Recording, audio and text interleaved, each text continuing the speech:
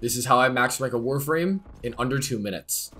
First, subsume Silence onto the very first ability slot on your fresh or newly formed frame, and equip only these duration mods, but not narrow-minded.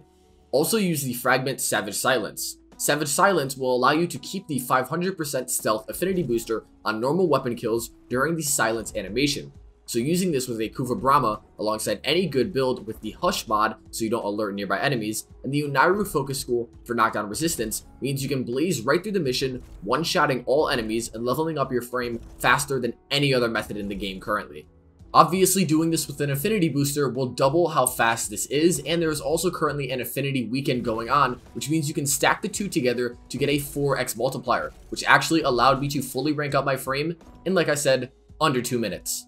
All of that is why I think it's important that you should know